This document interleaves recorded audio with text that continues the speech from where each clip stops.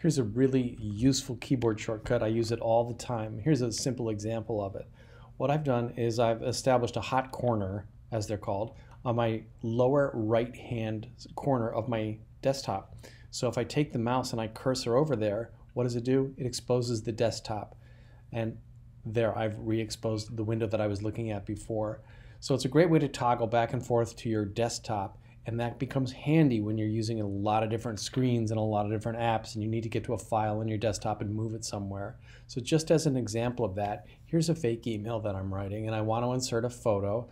Now this isn't that complicated, but one way to do it would be to hot corner over to the desktop, then go find that folder and the picture buried within it, and then I'm going to drag this photo over to the corner and into my email that had inserted it.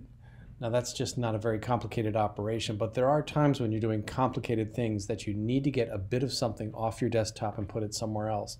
And having a hot corner in the lower right hand corner or wherever you want it is really useful for that. How do you set it up? You set it up over here in the system preferences, upper left hand corner, drag down to system preferences, then find where it says desktop and screensaver, click on that, and you'll see right here is the Hot Corners button. It gives you a chance to set up a task in each of the corners. The only one I use is expose the desktop in the lower right hand corner, and I use it all the time. And if you set this up, you will too.